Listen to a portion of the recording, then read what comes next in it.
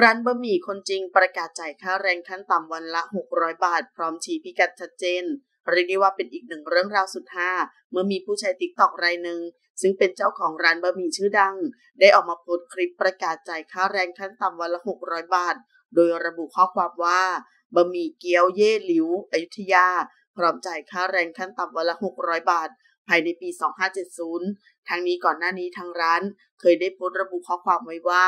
ร้านเราพร้อมจ่ายค่าแรงวันละ 600 บาทต่อวัน ค่าน้ำมัน ค่าไฟฟ้า ค่าวัตถุดิบ แสนแพง เราก็ยังจ่ายได้ แล้วทำไมเราจะจ่ายค่าแรงแพงๆบ้างไม่ได้หรอ น้ำมันขึ้น ค่าไฟขึ้น เคยถามเราบ้างไหม ว่าเราใจไหวไหม ซึ่งอย่างไรก็ตามหลังจากคลิปดังกล่าวถูกแชร์ออกไป ได้มีชาวเน็ตเข้ามาให้ความสนใจ และคอมเมนต์กันเป็นจำนวนมาก หลายคนเข้ามาชื่นชม และเข้ามาให้กำลังใจเจ้าของร้าน รวมถึงตั้งใจที่จะมาช่วยอุดหนุนกันทั้งโซเชียล นอกจากนี้ได้มีคนเข้ามาถามหาพิกัด ซึ่งทางร้านระบุว่าในเกาะเมืองอยุธยาครับ จับ Google Map มาได้เลยครับ อยู่เส้นหลักเลยครับ เส้นราชพัฒขอขอบคุณข้อมูลจากทีนิวส์ขอบคุณค่ะ